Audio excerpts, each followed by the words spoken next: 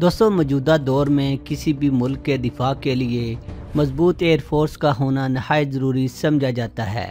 امریکہ جو اس وقت دنیا میں سپر پاور ہے، اس کی ایک بڑی وجہ امریکہ کی مضبوط ایئر فورس ہے۔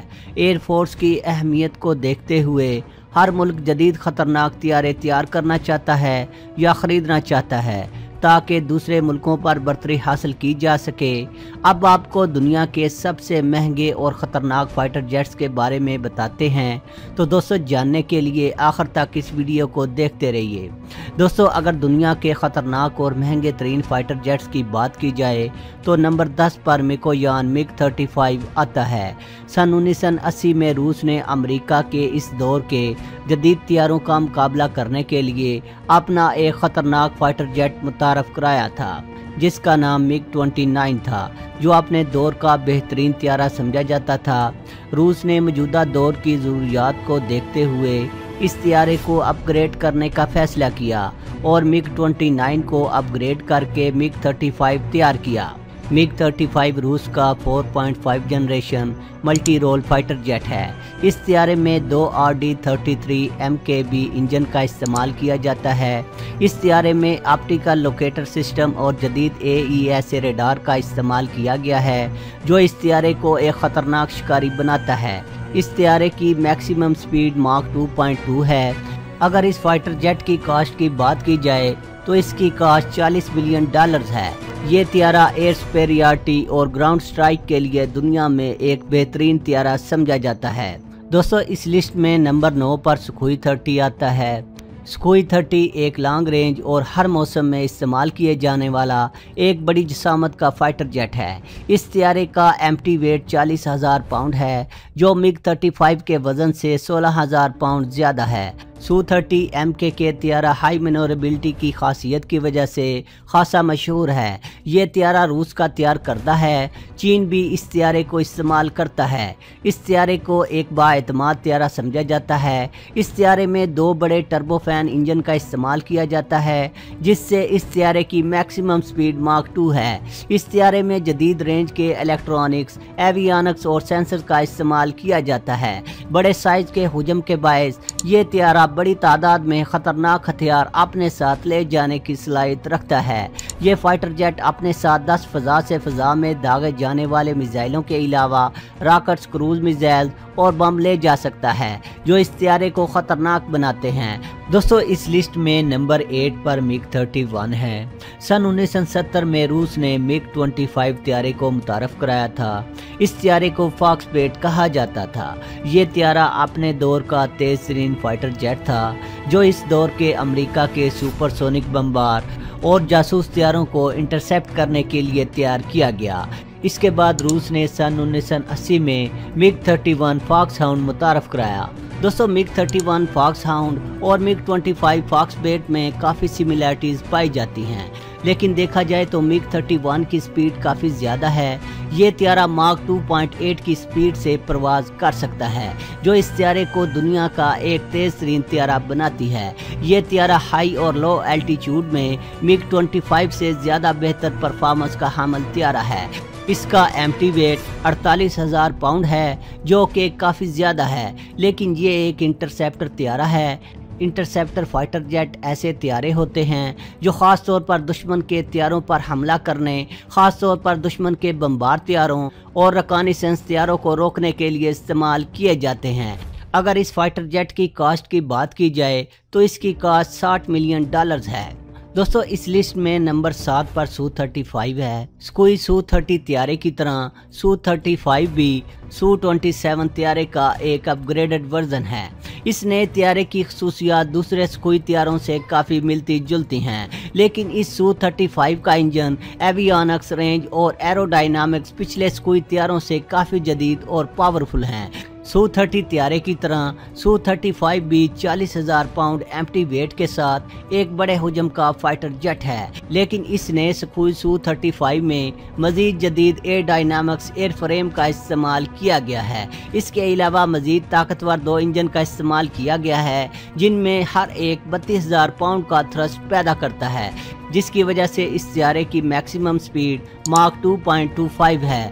طاقتور پلس ڈاپلر ریڈار کی بدولت پائلٹ آسمان کو سکین کر سکتا ہے، کئی اہداف کو ٹریک کر سکتا ہے اور ایک ہی وقت میں دشمن کے چھ تیاروں کے ساتھ انگیج رہ سکتا ہے۔ اس تیارے کی باڈی پر ایسے میٹیریل کا استعمال بھی کیا گیا ہے تاکہ ففتھ جنریشن تیاروں کی طرح اس تیارے کو بھی ڈیٹیکٹ نہ کیا جا سکے۔ اس میں کوئی دو رائے نہیں کہ سو 35 طیارہ ایک بہترین فائٹر جیٹ ہے۔ روس پاکستان کو اس سیارے کو فروخت کرنے کی آفر کر چکا ہے۔ اب فیصلہ پاکستان نے کرنا ہے کہ خریدا جائے کہ نہیں۔ اگر اس فائٹر جیٹ کی کاسٹ کی بات کی جائے تو اس کی کاسٹ پینسٹھ ملین ڈالرز ہے۔ دوستو، اس لسٹ میں نمبر 6 پر ایف ایٹین سپر ہارنٹ ہے۔ یہ فائٹر جیٹ امریکہ نے تیار کیا ہے۔ اگر پچھلے روس کے ذکر کیے گئے سکوئی طیاروں سے اس طیارے کا موازنہ کیا جائے تو ایف ایٹین بتیس ہزار ایم ٹی ویٹ کے ساتھ نسبتاً کم وزن کا ہے۔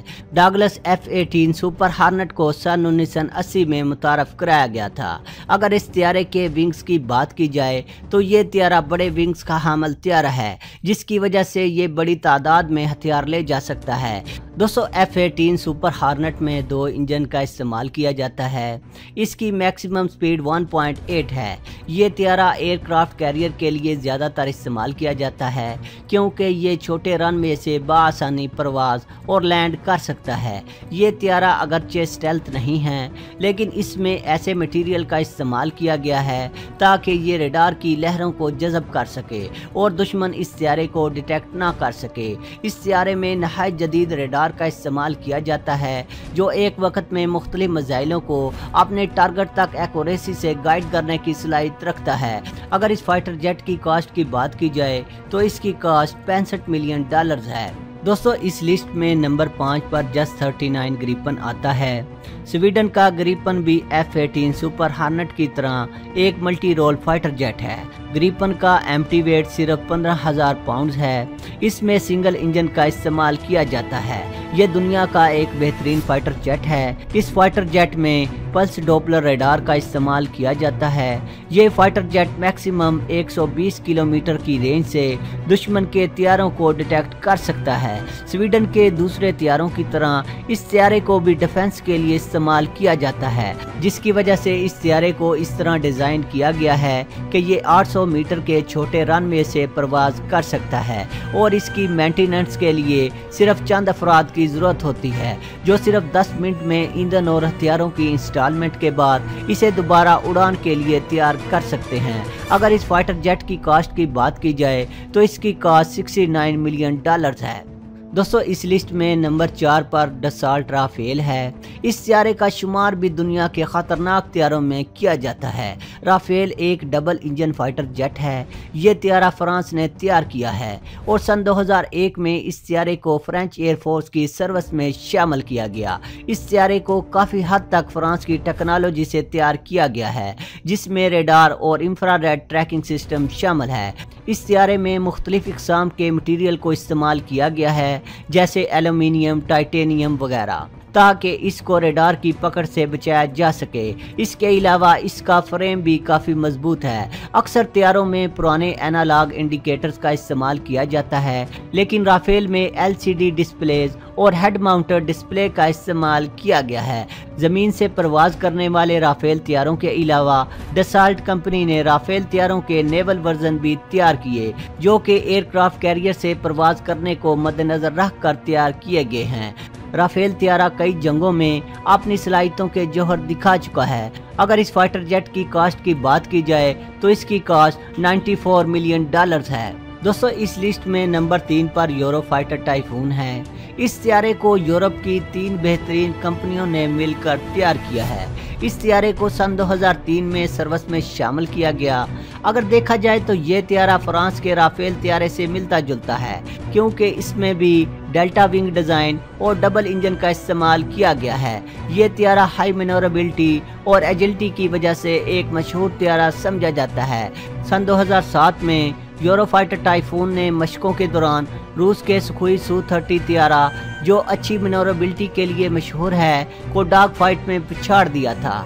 یہ تیارہ بھی اس لسٹ کے پچھلے تیاروں کی طرح سٹیلت نہیں ہیں، لیکن ریڈار کی لہروں کو جذب کرنے کے لیے اس میں کچھ سٹیلت فیچر کا استعمال کیا گیا ہے۔ اس تیارے نے لیبیا جنگ میں اپنی صلاحیتوں کے جوہر دکھا کر سب کو حیران کر دیا تھا۔ اگر اس فائٹر جیٹ کی کاسٹ کی بات کی جائے، تو اس کی کاسٹ 98 ملین ڈالرز ہے۔ دوستو، اس لسٹ میں نمبر دو پر F thirty five lightning two ہے۔ یہ دنیا کا جدید ترین ففتھ جنریشن تیارہ سمجھا جاتا ہے۔ یہ تیارہ سٹیل ٹیکنالوجی سے لیس تیارہ ہے۔ یہ تیارہ ریڈار کی پکڑ میں نہیں آتا۔ امریکہ کا دعویٰ ہے کہ دنیا کا کوئی ایئر ڈیفنس سسٹم یہاں تک کہ روس کا ایس فور ہنڈریڈ بھی اس کو ڈیٹیکٹ کر کے نہیں گرا سکتا، جس کی وجہ سے اس تیارے کو ایک نہایت خطرناک تیارہ سمجھا جاتا ہے۔ یہ تیارہ دشمن کے ایئر ڈیفنس سسٹم کو جیم کر دینے کی صلاحیت سے لیس ہے۔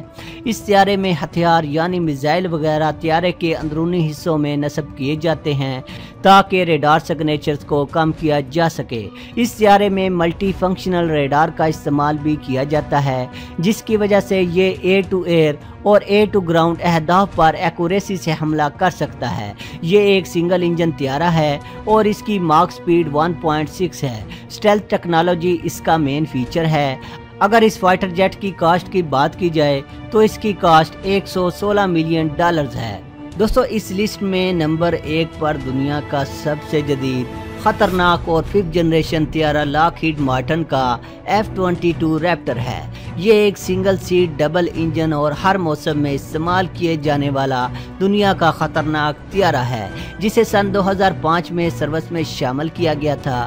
روس اور چین بھی اس سیارے جیسا خطرناک تیارہ بنانے کی جستجو میں لگے ہیں، لیکن ابھی تک کامیاب نہیں ہو سکے۔ ریپٹر دو سو کلومیٹر رینج سے کسی بھی ہدف کو ڈیٹیکٹ کرنے اور ایک سو اسی کلومیٹر کے فاصلے سے ان کے ساتھ انگیج رہ کر انہیں تباہ کرنے کی صلاحیت رکھتا ہے۔ اس تیارے میں ایسے میٹیریل کا استعمال کیا جاتا ہے تاکہ یہ کسی بھی ریڈار کی پکڑ میں نہ آ سکے، جس کی وجہ سے اس تیارے کی کاسٹ سب سے زیادہ ہے۔ ریپٹر میں بہترین ایئر فریم اور ونگ ڈیزائن کے علاوہ ہتھیاروں کو تیارے کے اندرونی حصوں میں نصب کیا جاتا ہے۔